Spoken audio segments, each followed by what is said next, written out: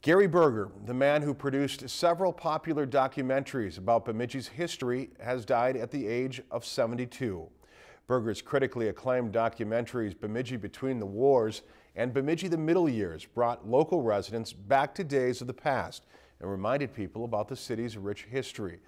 Burger is known more nationally for being the lead singer of the 60s garage band The Monks a group several modern bands such as Green Day and the Beastie Boys have cited as being an influence on their careers.